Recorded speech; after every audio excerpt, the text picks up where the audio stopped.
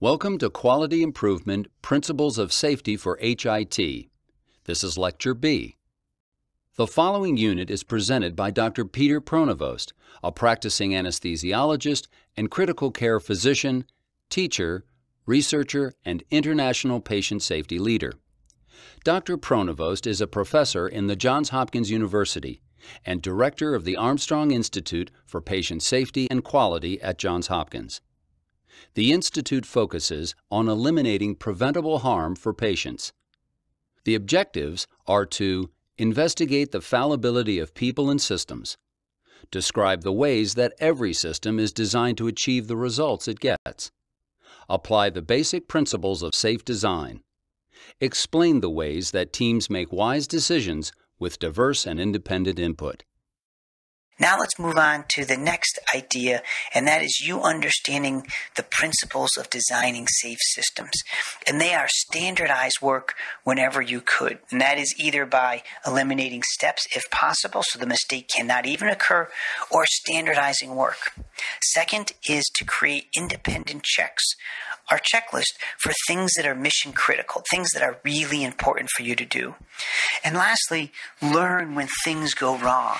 You see, in healthcare, we're really, really good at recovering from mistakes, but we're pretty poor at learning. That is, actually reducing the risk that future patients will be harmed. To learn, we need to answer four questions What happened? Why did it happen? What did you do to reduce risk? And most importantly, how do you know that it actually worked? So let me give you an example. We were trying to reduce catheter infections. You may have read about this in my book, Safe Patients, Smart Hospitals. They're a type of infections that we give patients when they have catheters, typically tubes that go into their neck to deliver medicines or monitor their heart.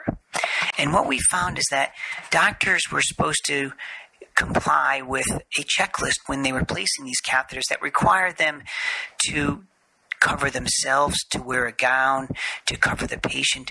In essence, they needed about eight pieces of equipment, but that equipment wasn't stored together. We made our docs run around the hospital seeking it. Oftentimes, it wasn't stocked, and predictably, they would go without it sometimes. So we could have just tried, told them to try harder, but we took a systems approach. So what did we do? Is we got a cart that stored all the equipment that was needed to comply with this checklist. We standardized the procedure, took eight steps down to one and compliance went up dramatically.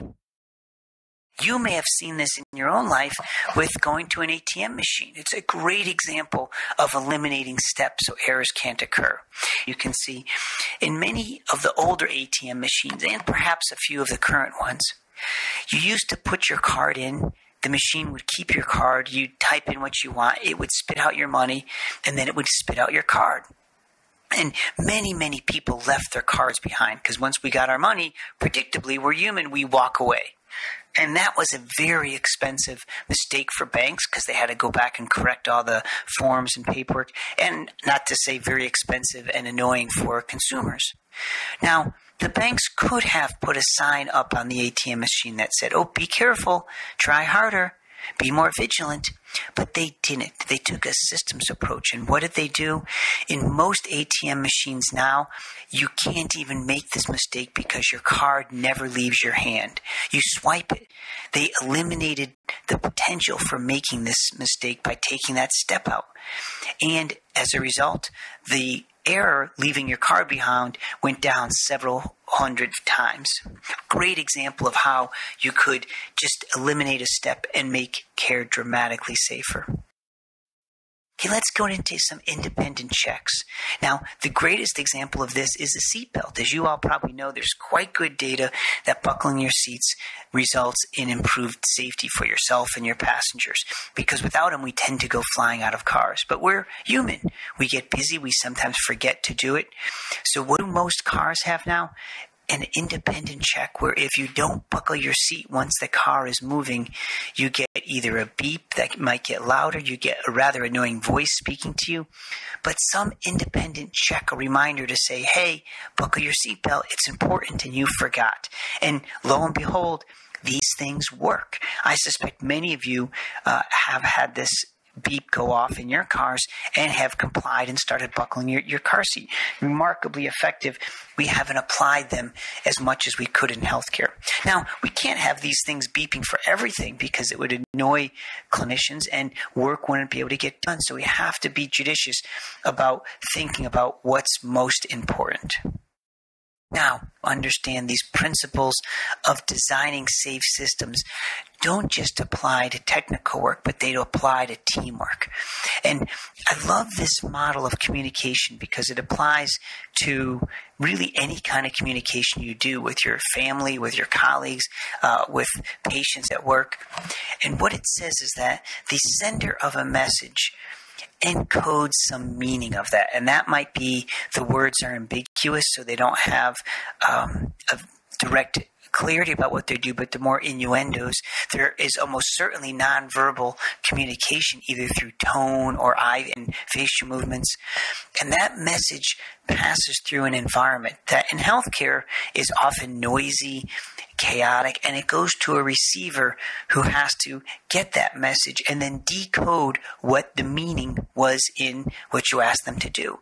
And that decoding could be corrupted. That is, there can be truly a translation error. The more the wording is vague, the more the receiver is distracted or not paying attention, the noise of their environment. So let me give you an example.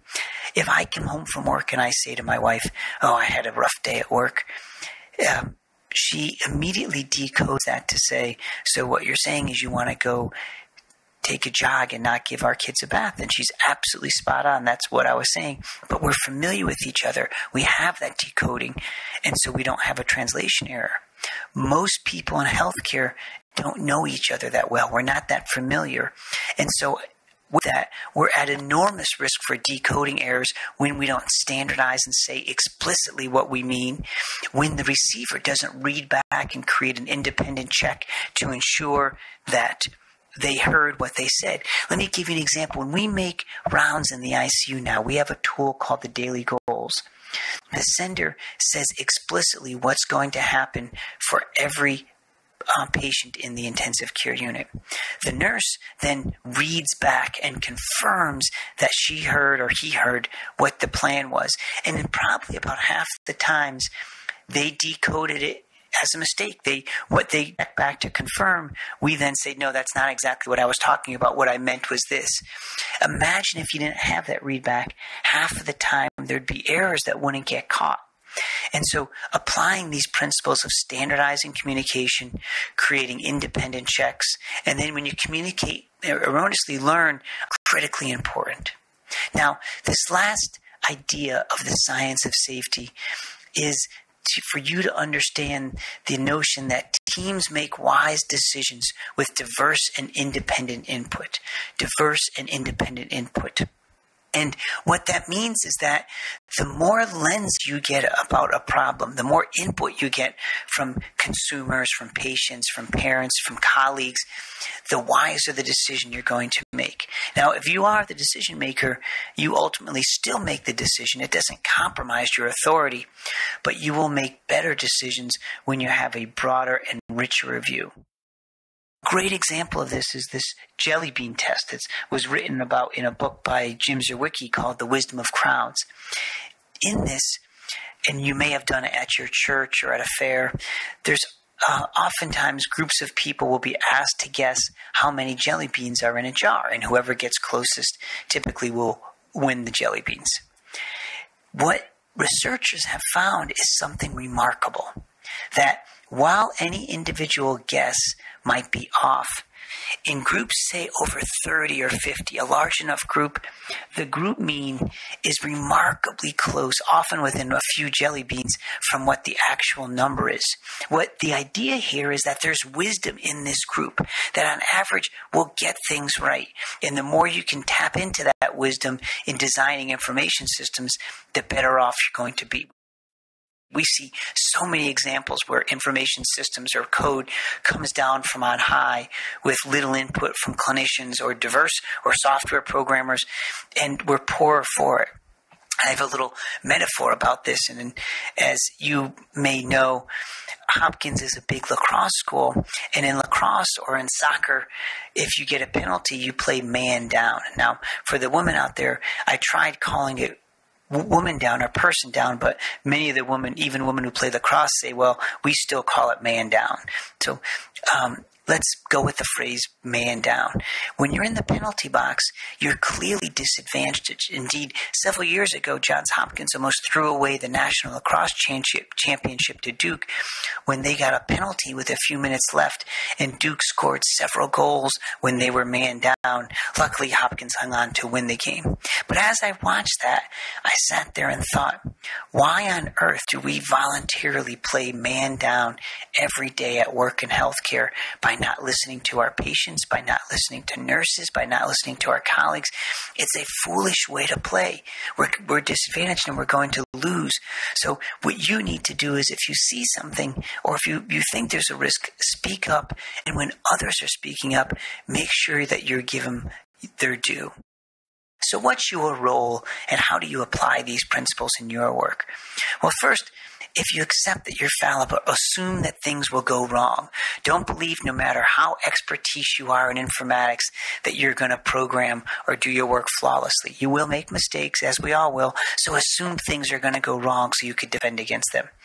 Secondly, develop lenses to see these systems. When, when things go wrong, don't just see yourself or that your colleagues and patients think about training, think about teamwork, think about protocols.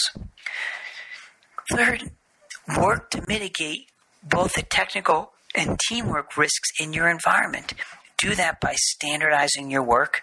And that means, for example, limit the number of choices of drugs that people have so you don't have to choose 30 out of a drop down list create independent checks. If something is really, really critical, make sure the information system has a fail safe to say, oh, this is too important. We have to confirm it's right. And learn from your mistakes. Next is make sure that you apply this knowledge of making wise decisions by getting input from others whenever you make decisions. You don't need to make this work in a vacuum. And lastly, keep patients as your North Star. This work that you're embarking on is really about them and make sure that the way we organize our work isn't geared solely around clinicians. It's not geared around the information technology people. It's geared around patients and their needs.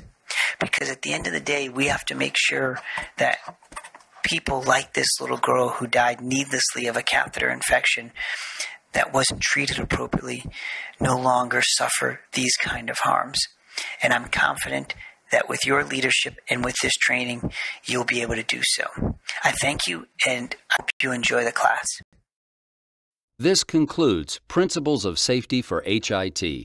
In summary, in this unit, we've learned about the ways that teams make wise decisions with diverse and independent input. We've also learned about the importance of communication and especially the place of critical listening.